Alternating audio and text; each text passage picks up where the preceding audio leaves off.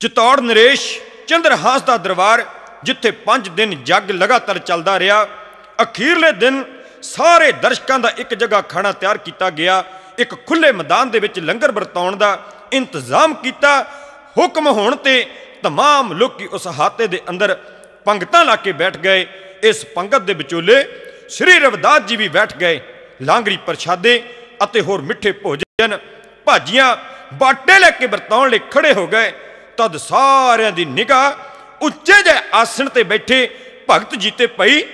ਪੰਡਤ ਅਤੇ ਹੋਰ ਮੱਤਾਂ ਦੇ ਵਿਦਵਾਨਾਂ ਨੇ ਇਸ ਪੰਗਤ ਵਿੱਚ ਬੈਠਣ ਤੋਂ ਨਾ ਕਰ ਦਿੱਤੀ ਤੇ ਕਹਿਣ ਲੱਗੇ ਕਿ ਇਸ ਚਮਾਰ ਭਗਤ ਨੂੰ ਬੱਕ ਬਿਠਾਇਆ ਜਾਵੇ, ਨਹੀਂ ਤੇ ਅਸੀਂ ਜਗ ਸੰਪੂਰਨ ਨਹੀਂ ਹੋਣ ਦੇਵਾਂਗੇ। ਨੰਬਰਵਾਰ ਬ੍ਰਾਹਮਣ, ਖੱਤਰੀ, ਵੈਸ਼ ਤੇ ਸ਼ੂਦਰ ਨੂੰ ਭੋਜਨ ਛਕਾਇਆ ਜਾਣਾ ਯੋਗ ਹੈ। ਪੰਡਤਾਂ ਦੇ ਮੁਕਾਬਲੇ ਤੇ ਸਗੋਂ ਕੁਝ ਉੱਚਾ ਚਮਾਰ ਦਾ ਬੈਠਣਾ ਬੜਾ ਭਾਰੀ ਪਾਪ ਹੈ। ਸਭ ਅਛੂਤ ਇਸ ਪੰਗਤ ਤੋਂ ਉਠਾ ਕੇ ਬਾਹਰ ਕੱਢੇ ਜਾਣ। ਰਾਜੇ ਚੰਦਰਹਾਸ ਤੇ ਰਾਣੀ ਝਾਲਾਬਾਈ ਨੇ ਸਮਝਾਉਣ ਦਾ ਬੜਾ ਯਤਨ ਕੀਤਾ। ਪਰ ਲਾਤੋਂ ਕੇ ਭੂਤ ਬਾਤੋਂ ਸੇ ਕਬ ਮੰਨਤੇ ਹੈ। ਪੰਡਤਾਂ ਤੇ ਹੋਰ ਪਖੰਡੀਆਂ ਨੇ ਇਹ ਆਵਾਜ਼ ਕਿਸੇ ਦੇ ਕੰਨੀ ਪੈਣ ਹੀ ਨਾ ਦਿੱਤੀ। ਆਪਣਾ ਰਾਮ ਰੌਲਾ ਲਗਾਤਾਰ ਜਾਰੀ ਰੱਖਿਆ। ਤੇ ਜਦੋਂ ਰਵਦਾਸ ਜੀ ਆਪਣੇ ਆਸਣ ਤੋਂ ਨਾ ਉੱਠੇ ਤਾਂ ਪੰਡਤਾਂ ਤੇ ਹੋਰ ਜੋਗੀ ਜਨ ਪੰਗਤ ਤੋੜ ਕੇ ਬਾਹਰ ਨਿਕਲਣੇ ਸ਼ੁਰੂ ਹੋ ਗਏ। ਰਾਜੇ ਪਾਸ ਬੇਨਤੀ ਕੀਤੀ ਕਿ ਚਮਾਰ ਭਗਤ ਨੂੰ ਲਾਈਨ ਦੇ ਵਿੱਚੋਂ ਉਠਾਇਆ ਜਾਵੇ, ਪੰਗਤ ਤੋਂ ਬਕ ਕੀਤਾ ਜਾਵੇ। ਪੰਡਤਾਂ ਦੀ ਇਸ ਦਲੀਲ ਤੇ ਰਾਜਾ ਸਹਿਮਤ ਹੋ ਗਿਆ। ਪੰਗਤਾਂ ਦਰਜੇਵਾਰ ਵੱਖ-ਵੱਖ ਹੀ ਬਿਠਾ ਦਿੱਤੀਆਂ। ਲੰਗਰ ਵਰਤਣਾ ਸ਼ੁਰੂ ਹੋਇਆ। ਪਰ ਆਓ ਤੱਕੀਏ, ਉਹ ਮਾਲਕ ਜਿਨ੍ਹਾਂ ਸਾਰੀ ਸ੍ਰਿਸ਼ਟੀ ਨੂੰ ਸਾਜਿਆ ਜਿਹਦਾ ਸਿਮਰਨ ਕਰਨ ਵਾਲੇ ਉਹਨੂੰ ਕਿਤਨੇ ਪਿਆਰੇ ਹੁੰਦੇ ਨੇ।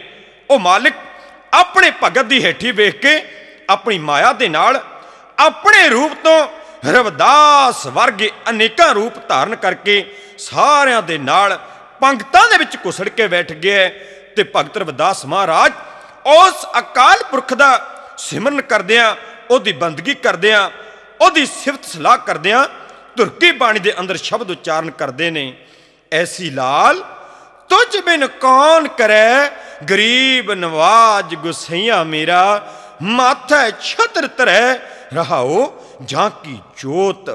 ਜਗਤ ਕੋ ਲਾਗੇ, ਤਾਂ ਪਰ ਤੁਹੀ ਟਰੈ। ਨੀਚੋਂ ਊਚ ਕਰੈ ਮੇਰਾ ਗੋਬਿੰਦ ਕਾਹੂ ਤੇ ਨਾ ਡਰੈ? ਨਾਮ ਦੇਵ ਕਬੀਰ ਤਲੋਚਨ, ਸਦਨਾ ਸੈਨ ਤਰੈ ਕਹਿ ਰਬਦਾਸ ਸੁਨੋ ਰੇ ਸੰਤੋ, ਹਰ ਜੀਉ ਤੇ ਸਭੈ ਹਰੈ। ਭਗਤ ਰਵਿਦਾਸ ਉਸ ਮਾਲਕ ਦਾ ਸਿਮਰਨ ਕਰ ਰਹੇ ਨੇ, ਉਹਦੀ ਬੰਦਗੀ ਕਰ ਰਹੇ ਨੇ, ਉਸ ਅਕਾਲ ਪੁਰਖ ਨੇ ਆਪਣੇ ਪੂਰੇ ਭਗਤ ਦੀ ਜਿਵੇਂ ਲਾਜ ਰੱਖੀ, ਇੱਕ ਤੋਂ ਅਨੇਕ ਰੂਪ ਹੋ ਕੇ ਹਰ ਇੱਕ ਦੇ ਨਾਲ ਪੰਗਤ ਦੇ ਵਿੱਚ ਬੈਠ ਕੇ ਜਿਵੇਂ ਪ੍ਰਸ਼ਾਦਾ ਛਕਣ ਲੱਗੇ, ਉਸ ਸਥਾਨ ਤੇ ਜਿਵੇਂ ਭਗਤ ਰਵਿਦਾਸ ਮਹਾਰਾਜ ਜੀ ਦੀ ਜੈ ਜੈਕਾਰ ਹੋਈ, ਅਕਾਲ ਪੁਰਖ ਨੇ ਆਪਣੇ ਭਗਤ ਦੀ ਲਾਜ ਰੱਖੀ, ਪਖੰਡੀ ਲੋਕਾਂ ਨੂੰ ਹਾਰ ਦਿੱਤੀ ਜਾਚਕ ਜਰਨੈਲ ਤੇ ਹੀਰ ਹਰਦੀਪ ਸਿੰਘ ਸਾਧੜੇ ਦਾ ਢਾਡੀ ਜੱਥਾ ਐਂਜ ਦੱਸਣ ਲੱਗਿਆ।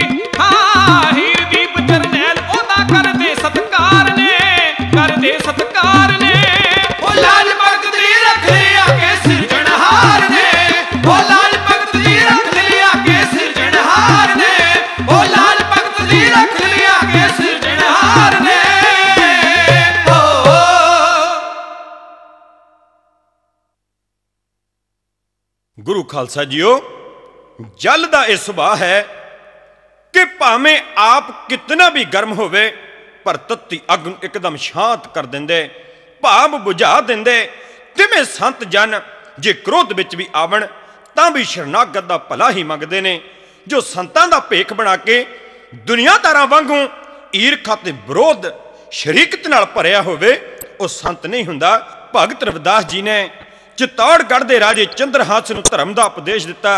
ਰਾਣੀ ਝਾਲਾਵਾਈ ਪੂਰਨ ਸੰਤ ਦੇ ਚਰਨੀ ਲਾ ਆਪਣੇ ਜੀਵਨ ਨੂੰ ਸਫਲਾ ਕਰ ਗਏ। ਬੇਅੰਤ ਅਨਾੜੀ ਧਰਮੀ ਲੋਕ ਉਸ ਮਹਾਨ ਪੂਰਨ ਸੰਤ ਦੇ ਚਰਨਾਂ ਦੇ ਨਾਲ ਲਾ ਕੇ ਆਪਣਾ ਜੀਵਨ ਸਫਲਾ ਕਰ ਗਏ। ਇਹ ਵਿਚਾਰ ਸੀ ਰਾਣੀ ਝਾਲਾਬਾਈ ਚੰਦਰਹਾਸ ਦੀ ਜਿਹਨੂੰ ਆਪ ਜੀ ਦੀ ਸੇਵਾ ਦੇ ਵਿੱਚ ਪੇਸ਼ ਕਰ ਰਹੇ ਸਨ, ਢਾਡੀ ਬਲਜਿੰਦਰ ਸਿੰਘ ਦੀ ਜਾਚਕ ਬਲਾਚੌਰ, ਢਾਡੀ ਜਰਨੈਲ ਸਿੰਘ ਜੀ ਸਾਧੜਾ ਸਰੰਗੀ ਮਾਸਟਰ ਤੇਜਵੀਰ ਸਿੰਘ ਜੀ ਹੀਰ, ਪਿੰਡ ਪੱਦੀ ਸੂਰਾ ਸਿੰਘ ਢਾਡੀ ਜਥਾ ਭਾਈ ਹਰਦੀਪ ਸਿੰਘ ਜੀ ਸਾਧੜਾ ਇਸ ਕੈਸਟ ਨੂੰ ਰਿਕਾਰਡ ਕੀਤਾ ਹੈ ਐਸ ਐਮ ਸੀ ਕੰਪਨੀ ਤੇ ਸਤਿਕਾਰਯੋਗ ਅਵਤਾਰ ਸਿੰਘ ਜੀ ਨੇ। ਸਾਰੀਆਂ ਸੰਗਤਾਂ ਦਾ ਧੰਨਵਾਦ ਕਰਦੇ ਹਾਂ। ਇੱਥੇ ਹੀ ਫਤਿਹ ਬੁਲਾਉਂਦੇ ਹਾਂ। ਹੋਈਆਂ ਭੁੱਲਾਂ ਦੀ ਖਿਮਾ ਗੱਜ ਕੇ ਬੁਲਾਓ ਜੀ।